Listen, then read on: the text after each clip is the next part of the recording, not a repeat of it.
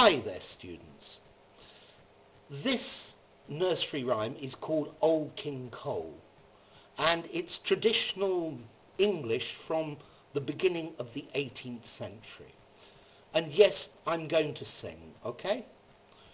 Old King Cole was a merry old soul, and a merry old soul was he. He called for his pipe, and he called for his bowl, and he called for his fiddlers three. Every fiddler he had a fiddle, and a very fine fiddle had he.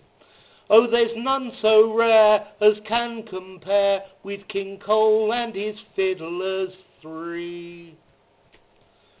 Bye for now.